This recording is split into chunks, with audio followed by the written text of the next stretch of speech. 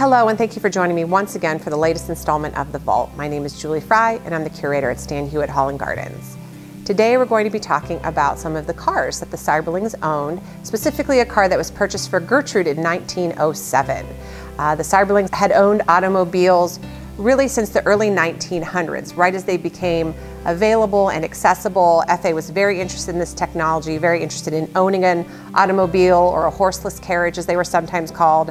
Um, in 1907, though, he decided to purchase a new car and make it a gift to Gertrude. So he bought an electric car from the Columbus Buggy Company in Columbus, Ohio, and he surprised Gertrude with it one night. So Gertrude is writing to her daughter, Irene, uh, December 6th, 1907. This noon, we were talking about the resilience of the old coupe.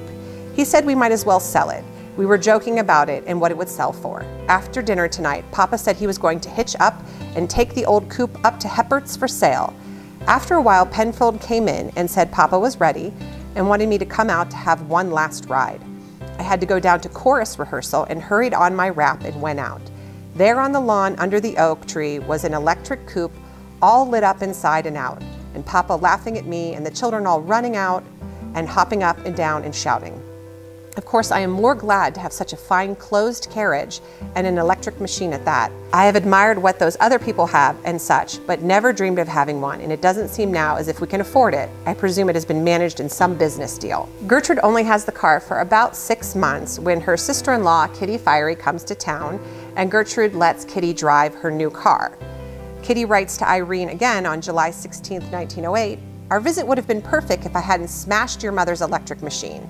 I am still broken up about it, but if we can get it fixed up as good as before, I will feel better. A couple months later, FA has now sent the car back down to Columbus to be repaired. He is writing to Kitty's husband, Louis Fiery, to talk about the repairs and kind of the experience of getting the car repaired. About that automobile that I sent down to Columbus to be repaired, I'm a little sorry I ever let it get out of Akron, as although it was returned looking as fine as new, it has already headed for a condition much like the one you last saw it in. Gertrude has used it but twice. The first time she came into the driveway on top speed and failing to direct it properly, struck the stone post of the driveway with the front spring, bending it down, and on the second trip succeeded in scraping the leather off of the right fender and getting it out of the barn. I've concluded that women are wholly unfit to run anything on wheels except a baby carriage. So you can see FA is a little frustrated with all of the repairs that are going into what was probably a very expensive automobile in 1907. The Seiberlings continued to own this car until around 1911, and then he did sell it and get something else at that time. So thank you for joining me once again for the latest installment of The Vault. I look forward to sharing more again with you soon.